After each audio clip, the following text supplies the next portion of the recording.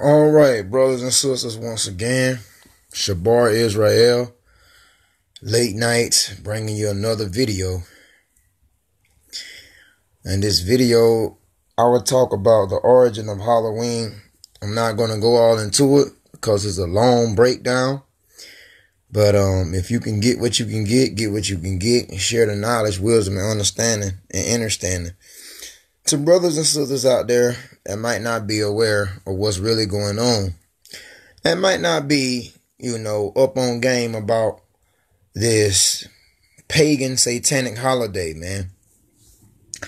Better yet known as Halloween. So I'm gonna wait till brothers and sisters come into the room, at least a couple brothers and sisters get into the room, and then we will commence with the lesson on tonight. So hope all is well. Hope you guys are doing good. You know, this is Solid Foundation Israelite Academy. That's S F I A, Solid Foundation Israelite Academy. You can also find me on YouTube. Head over to YouTube and, t- and simply type in Shabar Israel. Just type in Shabar Israel. That's S H A B A R I S R A E L. Shabar Israel. Type that in in the search icon uh, on YouTube, and you you'll see my channel. Okay.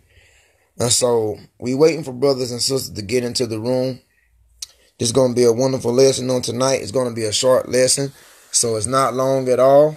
Because I know blacks, Hispanics, Latinos, and Native Americans, which are the Israelites, I know that we have a short attention span. So I'm just gonna kind of go into it, you know, wait a couple more seconds, and then I'm gonna go into the origin of Halloween, man. All right. Also, we will be using Bible reference. So, I mean, right here, as you guys can see, wait a minute. This is the foundation, the good book, God's policy, the Holy Bible. Okay. We will be using this as reference to carry out this wonderful lesson. So let's go into Colossians 2, verse 8. We're not going to wait around any longer. Brothers and sisters, I'll see you when you get in the room. So I'm flipping in my Bible, Holy Bible, to the book of Colossians 2, verse 8. All right. This what it says. Colossians chapter 2, verse 8 says, Beware lest any man spoil you through philosophy and vain deceit, after the tradition of men, after the rudiments of the world, and not after Christ. So Colossians 2, verse 8 tells us to beware. Now, beware is to be conscious. Beware is to have a sound mind. Beware is to be sane. To keep your eyes peeled. All right. To keep your head above the water.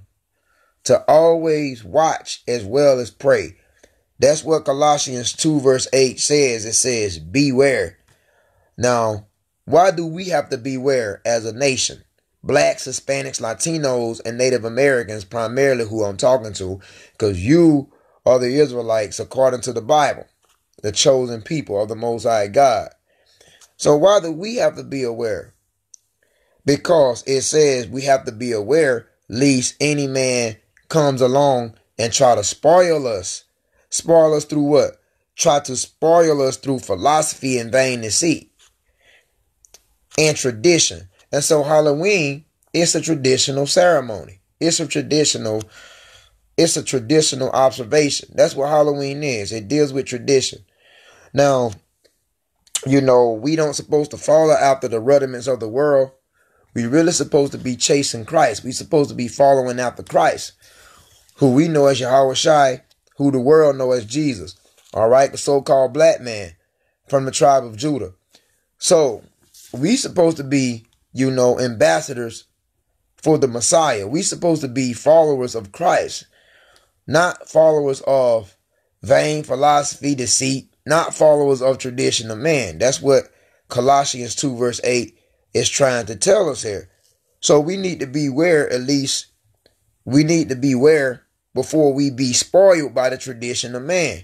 Halloween has spoiled a lot of us brothers and sisters. If you can be honest, Halloween have taken its toll on a lot of us, blacks, Hispanics, Latinos, and Native Americans. All right. And you know, you know, it didn't happen overnight. Halloween was taught to us, you know, since knee high. When we came up, uh, ever since Head Start, start kindergarten, elementary school, middle school, high school, and so forth, even college. These uh these institutions have consistently pushed this on us. So we grew up, we grew up learning Halloween. You know, we, we didn't know any better. We just we followed what was around us and we grew up doing that. But now we should be conscious and we should be aware of things now. We should be better than we were some odd years ago.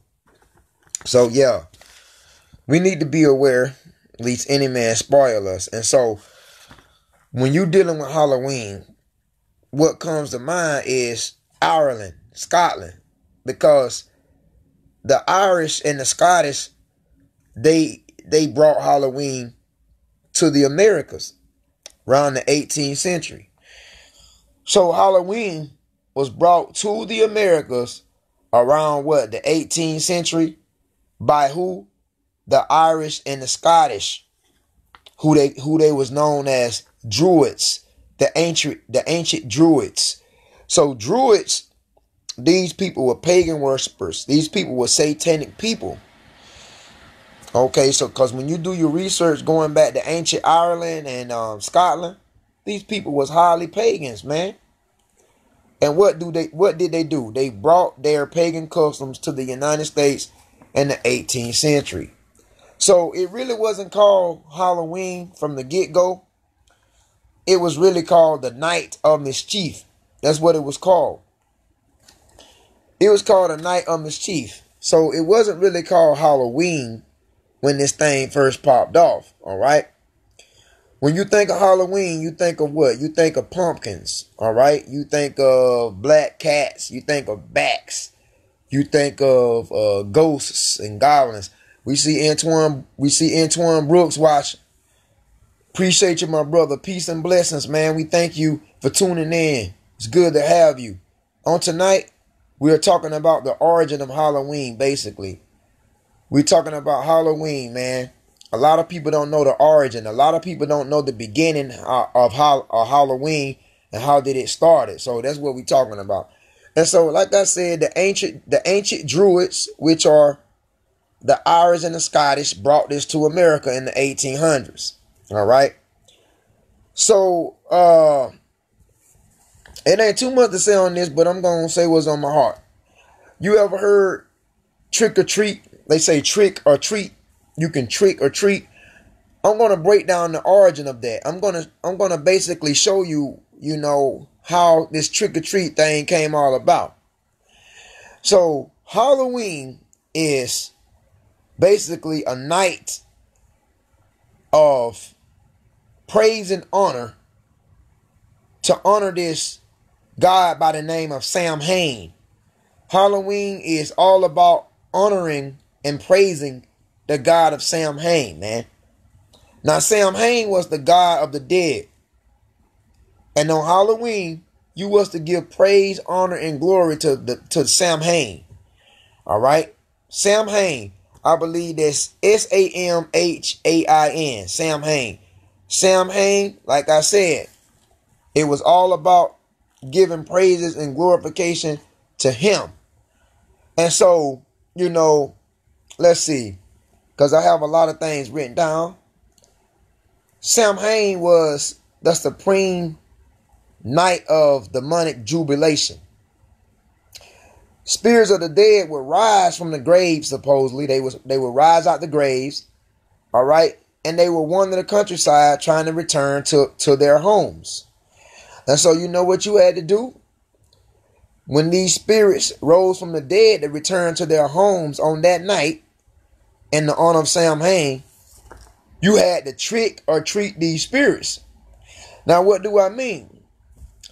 You can basically trick the spirits by masquerading by disguising yourself by putting on cosmetics and makeup to look like them in order to save your ass and your family from being consumed because when these spirits rose from the dead supposedly they would turn they will return back to their former homes whence they lived a long time ago and if you didn't trick or treat these spirits these spirits would kill you and your whole entire family man now we know this is just a mythological story but according to the ancient druids according to the ancient scottish and the irish they believed this bullshit and they bought into it and so when they when the Irish and the Scottish migrated to America, they brought this shit over here, man. And so yeah, this is why people trick or treat. Because when your children, when your little kids dress up as whatever concerning Halloween, because we have a lot of little boys and girls, you know, that's going to the stores, they're they're buying their costumes, they're getting in the Halloween spirit, you know. When your little boy, your little girl put on that Halloween costume, a lot of people is unaware of this. They are playing the role of evil spirits. They are playing the role of evil spirits. When your little boy, when your little boys and girls put on those Halloween costumes, they are playing the role as demonic spirits. They are playing the role role as ghosts, goblins, and ghouls, drujins and jinns. That's what they're playing the role as. And so I know we don't like the devil. Neither one of us like the devil. Anything that, that has to do with satanic activity, we tend to we tend to flee from. But you got to be aware because if you hate the devil, if you hate Satan, if you hate anything demonic, then you're not going to be for Halloween. If you stand for the Lord, if you stand for God, you're not going to be for Halloween. If you're trying to progress and live a righteous life, you know, you might be trying to get in the word. You know, you might be reading your Bible, trying to trying to progress your life. You're not gonna let your children indulge in this satanic practice, man. And so if your children choose to go ahead and carry out Halloween by dressing up in their costumes, whether it's a girl or a boy, what they're doing is they're playing the role of evil spirits. Because once these spirits arose from the grave, supposedly, according to the ancient Celtics, according to these ancient Scottish and Irish people, according to them, they said on that night, the night of Samhain, the demonic jubilation, after those spirits came out the graves, they returned to their home and they knocked on the door, basically. These spirits knocked on the door. They returned to their home. And once you open the door, if you didn't have enough of treats to appease these spirits, they would kill you and your whole family. So what you had to do? You had to trick or you had to treat them. Now you can trick the spirits by dressing up as one of them. And so when they come to your house, you are dressed up as one of them. Maybe you can blend in among the demonic activity. So this is where putting on the paint, putting on the cosmetics, putting on the makeup, you know, the Dracula teeth and all this bullshit, this is where it comes from. Because you had to trick or you had to treat these spirits from killing you and your whole family, man. So you can treat the spirits by giving them candy, cookies, treats, whatever you may have. You can try to treat the spirits to keep the spirits happy, to keep the spirits from killing you and your family. Or like I said, you can try to trick the spirits by dressing up as one of them. So if they did arrive at your house, they wouldn't notice you because you would look like one of them. So does trick or treat. That's where that shit comes from. Trick or treat, man. So when your children play the role as dressing up during Halloween, they are playing the role as those spirits that goes that goes to these particular houses that try to kill the owner and the, and the family of the house. They are playing the role as these demonic spirits that, you know, that's why your kids, that's why when you take your kids trick or treating, what do they do? They go around, they knock on individual doors. They knock on the doors asking for what? Candy. Now, why would they knock on the doors asking for candy? Because they are playing the role as the demonic spirit that supposedly returned back to the back, back that returned back to his house. And if and if and if you didn't welcome him in, he would kill you if you didn't give him candy. or if you didn't masquerade. So you got to know what we getting into, man. You know.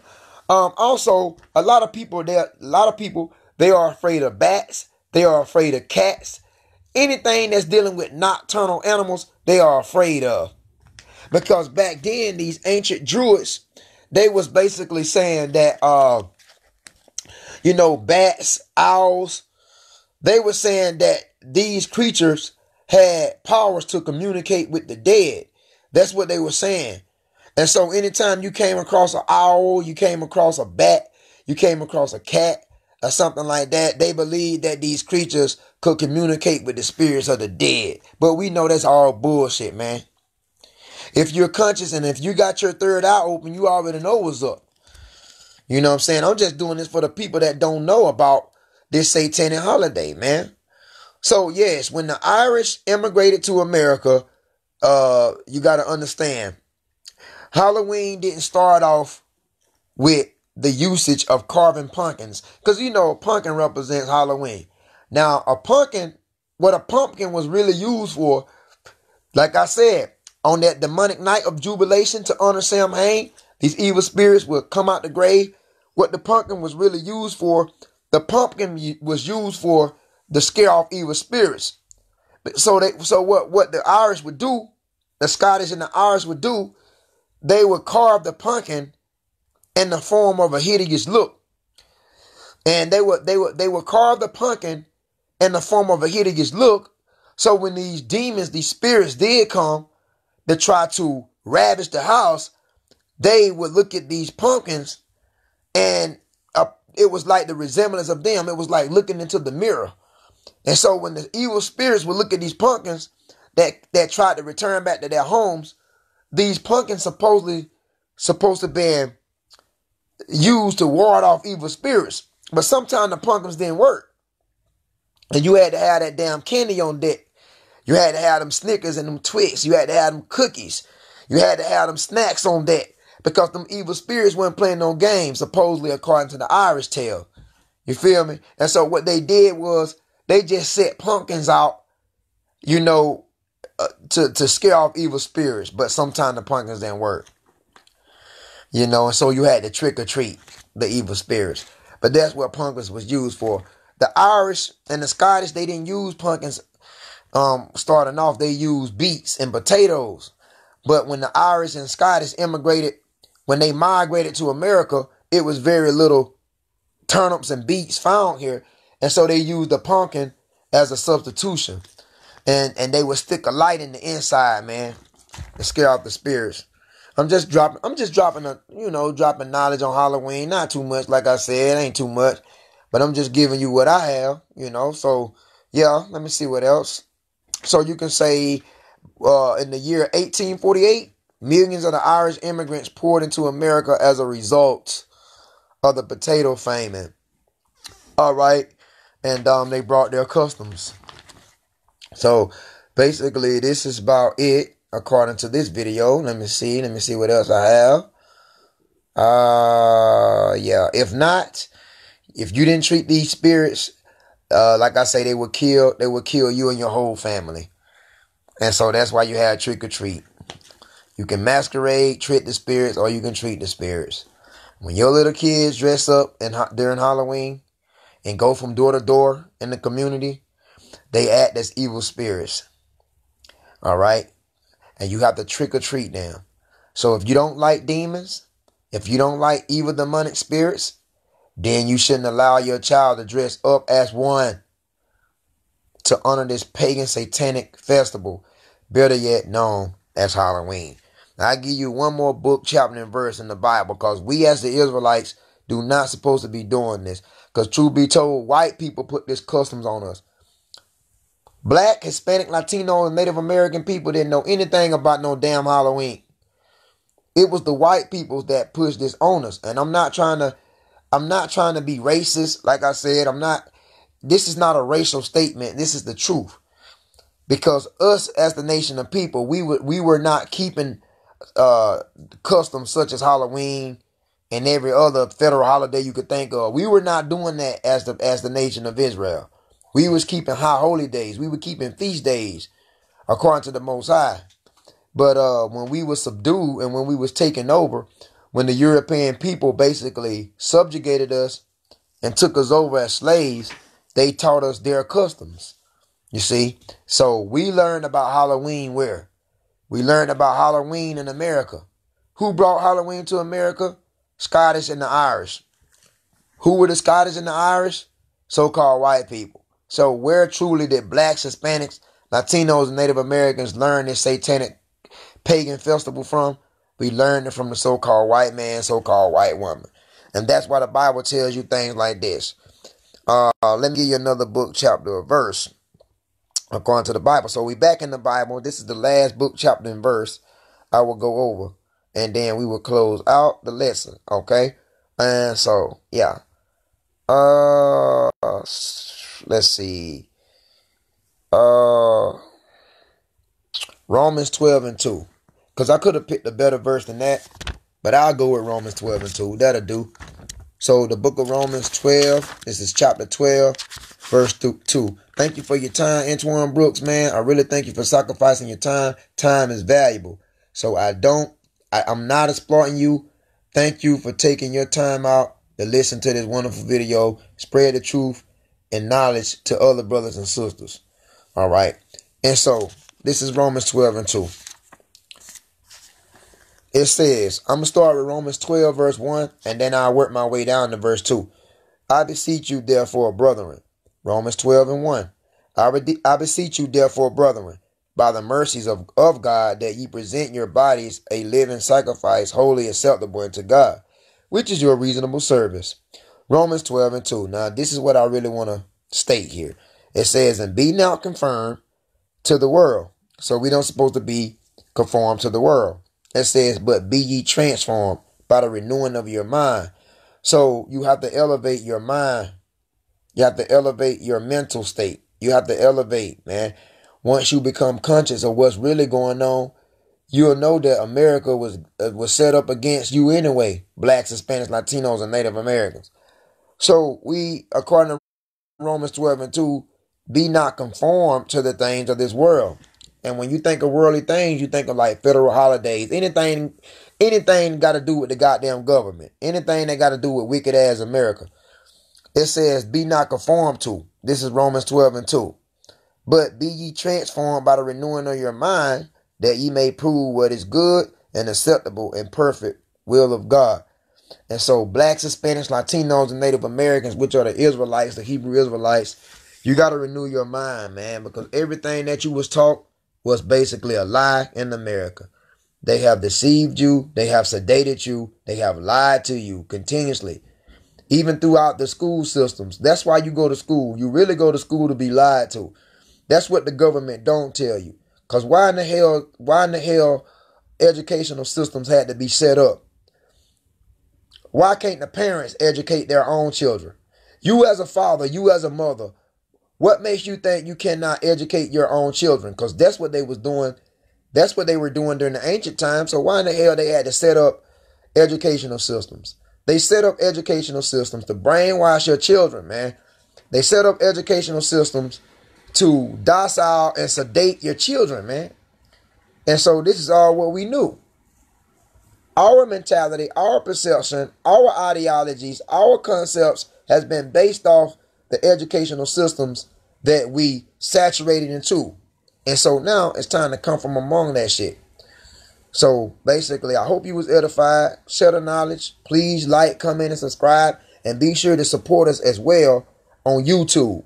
Head over to YouTube, type in Shabar Israel, S-H-A-B-A-R I-S-R-A-E-L, Shabar Israel on YouTube, and you can follow me. You'll see it says Solid Foundation Israelite Academy and you can follow me on YouTube as well. Thank you for your time, brother. Uh, Antoine, if you got any questions, man, you know, you might want to shoot them to me right now because I'm about to close the video out. You know what I'm saying? So, yeah, thank you for your time, man. Hope all is well with the fam. Hope all is well with you and your family, man. May the Most High bless you and may He give you abundance of wisdom and knowledge and over entering and understanding. Okay? All right. So if you don't have any questions, brother, I'm going to close out. We didn't have too many to come in the, the room on tonight, but we thank the Most High for you know what we have. So yeah, without further ado, I'm gone. Thank you for your time, my brother. Shalom.